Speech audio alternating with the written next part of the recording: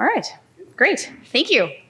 Okay, so I'm actually here on behalf of Susan Keenlyside, our program coordinator, and I'm actually wearing my instructor hat today. Um, so I'm about to present to you the, uh, the BIM Lifecycle Management Program uh, that we have here. It's an Ontario College graduate certificate here at the college.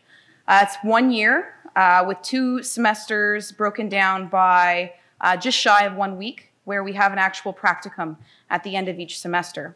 So without further ado, uh, the previous knowledge and experience required of most of these candidates is actually some background in architecture, engineering, and construction. So they definitely have to be coming from either an architecture background, one of the engineering disciplines, uh, a technologist background, something of the same or comparable.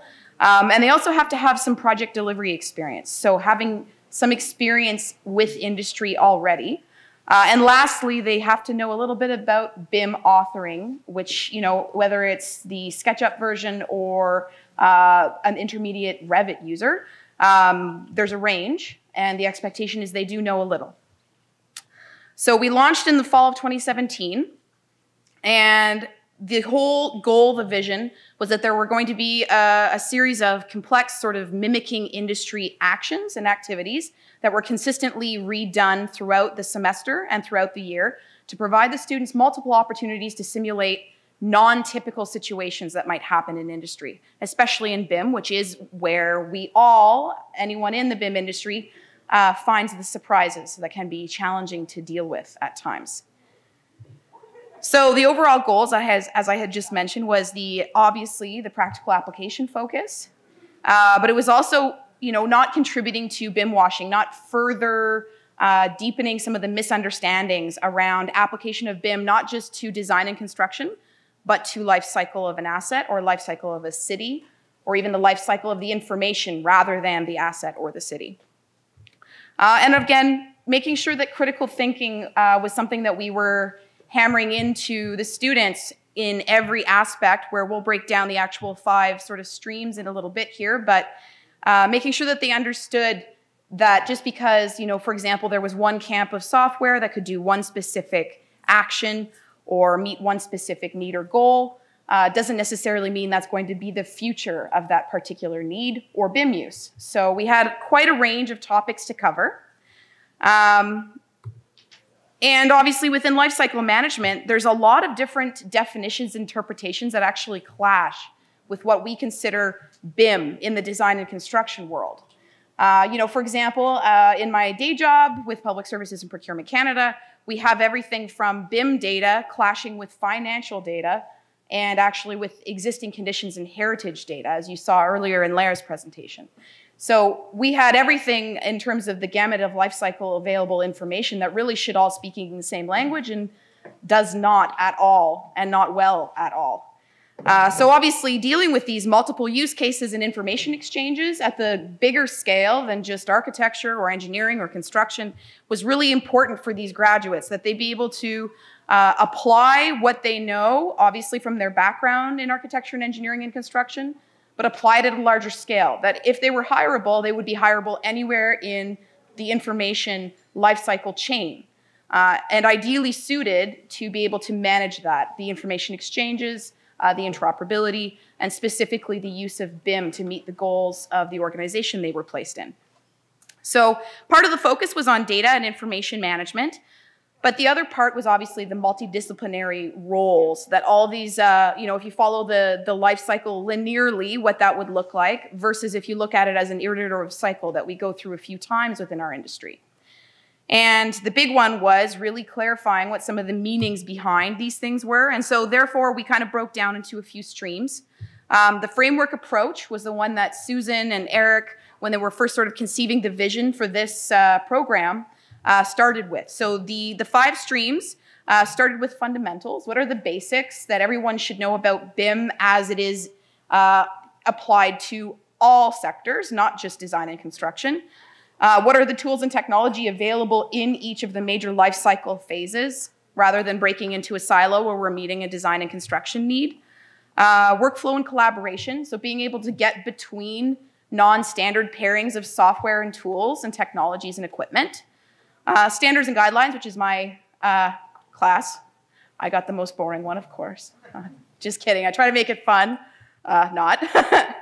and standards and guidelines really focuses on being able to replicate the same process more than once and to understand some of the general industry trends in this area, both here in Canada and abroad, uh, and being able to authoritatively discern between the options that are out there. Obviously, we're all familiar with some of the um, approaches that are being taken in our various industries, uh, whether in architecture or in the engineering camps for analysis, things like that.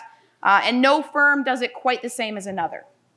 And this is one of those things that I'm not sure how much standardization is really needed versus whether or not we can just simply standardize certain pieces to make sure that it's more efficient for everyone. Um, last stream being project definition and deliverables. One of the most key uh, components that we were finding were missing and was obviously a graduate need was being able to define uh, BIM for a project, not just the design, but full range, uh, and obviously to define what a deliverable meant. Uh, from either interpreting a request for proposal or interpreting contractual requirements or even just interpreting the needs of a project. And then finally, the last week of every semester is a culminating Blitz collaborative project. So I'm just going to go ahead here. So the framework approach, obviously, uh, breaking it down again, um, but the fundamentals focused on the principles. And as I had mentioned, the tools and technologies focused on the tools, workflow and collaboration focused on the processes, uh, standards and guidelines, the standards, and finally the deliverables being the outcomes. Uh, and this followed a very similar approach to the way that buildingSMART Canada's international um, standards framework uh, was laid out. And then obviously, finally, the practicum. So obviously the framework was paramount because it doesn't change over time, but the content of each of the classes does.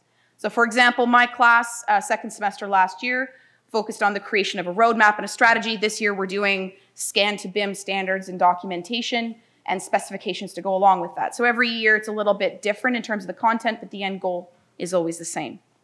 And what we ended up with was a, what we would like to think as a very innovative and new program approach, where uh, we focused on what the industry's needs are on any specific year um, and try to meet that, meeting our outcome for the, uh, the students.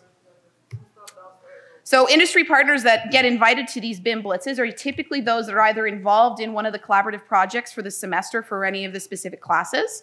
So this is typically uh, either someone that one of the instructors is working with uh, in their day job, or for example, an organization that's approached us with a challenge uh, that the students might be able to meet.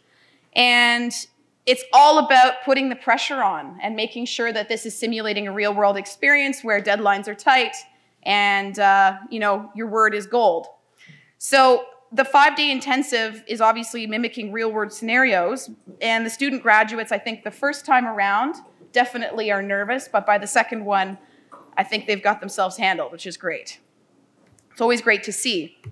And what it does is it kind of forces a balanced approach, uh, partly between software skills and technology, which is sort of the expectation of every BIM specialist, but also in the project and facility management realities. We're trying to ba balance not just sort of that um, academic approach, research-based approach, but also finally um, being able to really handle something that is a current uh, and pressing problem in industry each year.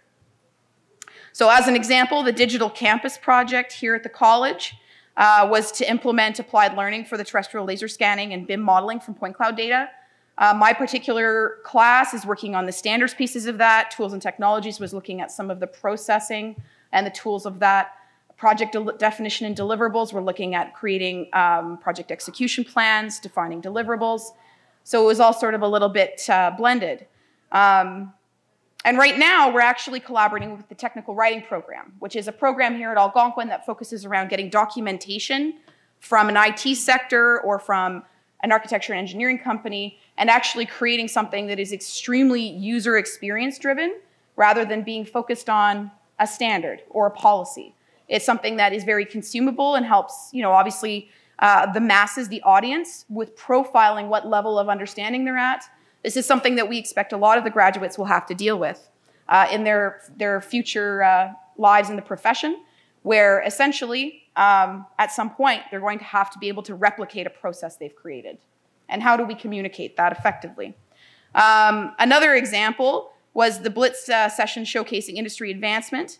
And we had a few very interesting project uh, teams come in and speak about their very specific approach, how they handled project challenges, um, and essentially were very transparent and very willing to collaborate with us, which was great.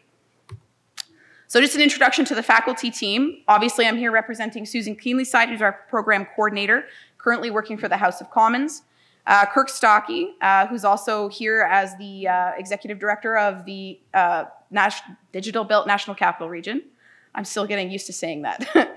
and Patrick Lalonde of EllisDon, Antonia Bolhosep of HOK, uh, Brent Mowdy of IBI, uh, Nicholas Orellano of SIMS, Alexander Stevanovich of the Construction Research Center here at Algonquin, uh, Rika and myself, who both work at Public Services and Procurement Canada. So if anybody is interested in joining the faculty, we're always getting bigger. We have plans for uh, professional certification courses. We have plans also for a second year um, of specialization more on the modeling and less on the management of BIM.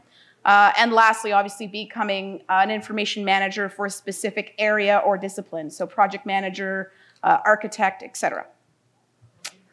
Um, and we do this obviously through our program advisory committee, uh, which we all very much would like to see more people attending and contributing to. So the program advisory committee is obviously meant to represent industry and uh, distill the messaging coming from industry regarding what are the real challenges that they're finding in getting uh, skilled uh, people. How, what are they finding are the real gaps when they interview new people in BIM?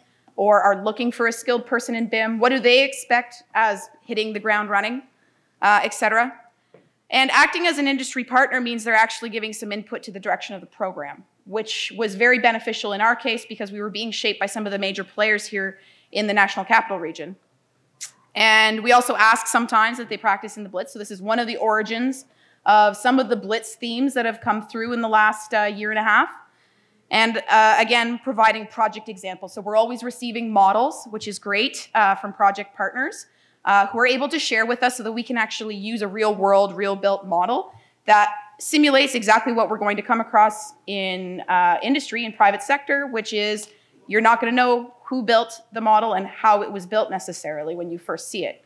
Um, so this is all uh, very important to us. And Susan did ask me to express that if you wanted to collaborate, you did want to sit in on one of these, uh, at least come to one and send her an email and ask. We'd be more than happy to have you. Uh, and finally, application information. So if anyone in the crowd is interested in taking uh, the courses or in finding out more about the professional certifications that we're eventually going to be putting in, uh, this is where you can find it. We're also on Facebook and Instagram, so take a look. And I think Susan just wanted to highlight that we are the number one lifecycle management BIM program in Google right now. Very innovative. So thank you on behalf of Susan and of the faculty. And I hope anybody who wants to ask any questions approaches me anytime.